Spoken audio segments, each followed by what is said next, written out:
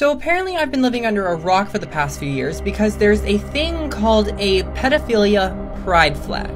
Now this flag doesn't come as a surprise to me at all because I halfway expected pedophilia to be legalized many years ago because Democrats would stoop so low to be inclusive to everybody. Rock for the past few years because there's a thing called a pedophilia pride flag. Now, this flag doesn't come as a surprise to me at all because I halfway expected pedophilia to be legalized many years ago because Democrats would stoop so low to be inclusive to everybody. So, this right here is the pedo flag. The technical term of this flag is MAP, which stands for Minor Attracted Person. The fact that this flag even exists is disgusting in itself, but once I actually look at this flag and look at the colors, it disgusts me even more.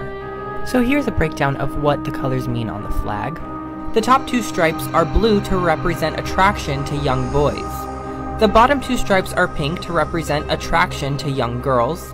The inner yellow stripes are to represent childhood and general attraction to minors regardless of their gender. And the middle stripe is white to represent innocence and unwillingness to offend. How disgusting. Sickos!